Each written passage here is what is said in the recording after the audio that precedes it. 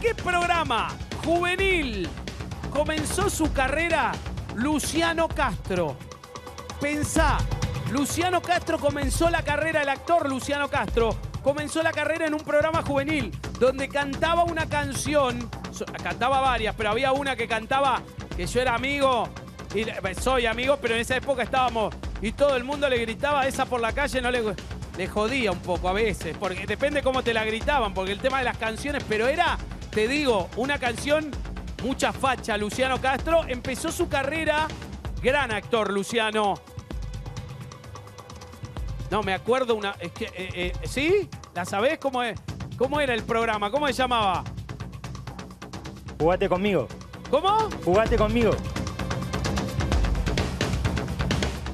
Porque una vez a Luciano Castro, locutor, ¿Qué pasó? le, le- eh, fuimos a los videojuegos de abajo del, del provincial. Sí. Los videojuegos estaban ahí en Mar del Plata. Sí. Estábamos jugando al tejo con Luciano. Sí.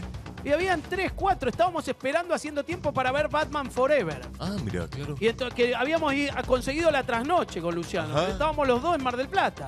Y estábamos jugando al tejo. ¿Y qué pasó? Y no va que uno le canta Bella, Bella, Bella, como en joda. Sí. Y él agarra el tejo así y dice, ¿quién me dijo Bella, Bella? No.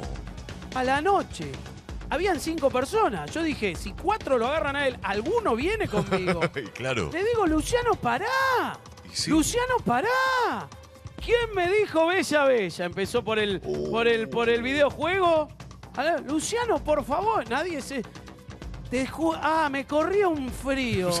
Después nos fuimos ahí y le decía, pero ¿cómo, pero cómo vas a hacer? Comprometés mi integridad. Me miraba él como diciendo, pobre. Pero es que de verdad me dio un... Perdón, ¿Qué contestaste? Jugate conmigo. ¡Corre!